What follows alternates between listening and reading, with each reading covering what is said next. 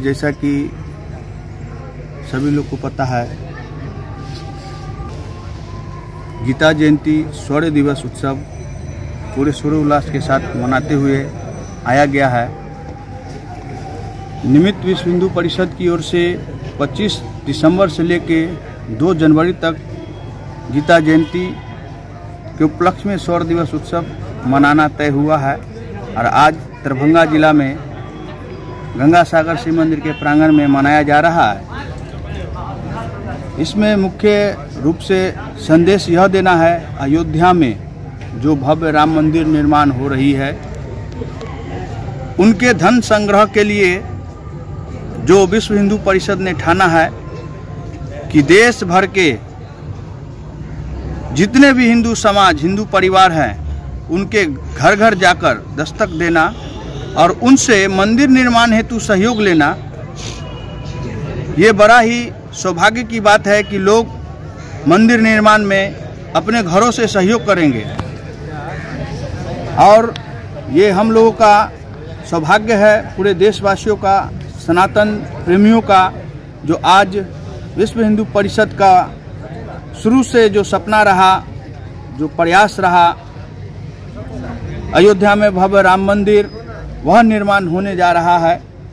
इसके निमित्त विश्व हिंदू परिषद की ओर से दस रुपया, सौ रुपया, एक हज़ार और उससे ऊपर के सहयोग की राशि के लिए कूपन बनाया गया है। दस रुपया इसलिए बनाया गया है कि समाज के उन नीचे से नीचे स्तर तक के परिवार के पास जाना है जो यह सहयोग कर सके।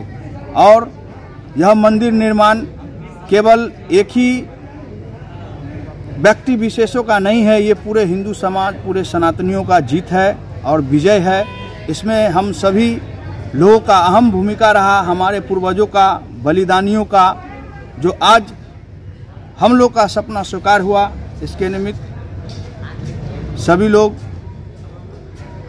सहयोग करें सभी सनातनी पूरे देश भर के लोग सहयोग करें यही निवेदन है। कौन कौन लोग भाग लिए इसमें आज?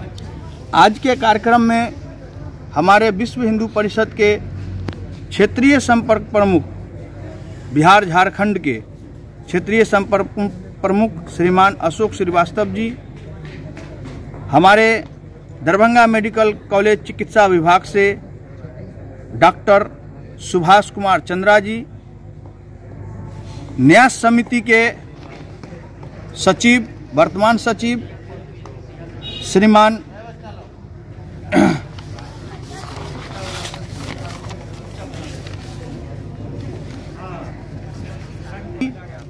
उसके बाद प्रोफेसर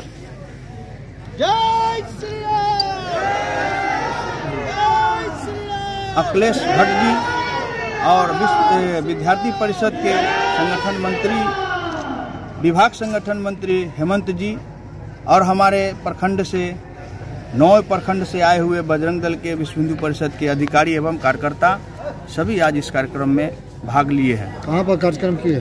ये कार्यक्रम गंगा सागर शिव मंदिर के प्रांगण में हो रही है।